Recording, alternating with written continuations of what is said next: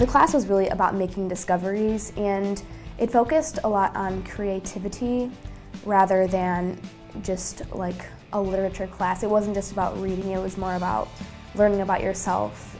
So the tools of discovery thing I think was the biggest leap in many ways because it's not something they'd done before.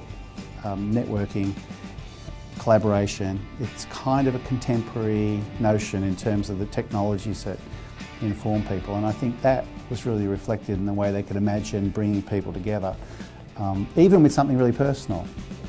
I discovered a lot about myself. The best way for me to describe it is just wow. I think it was a really good transition from high school to college.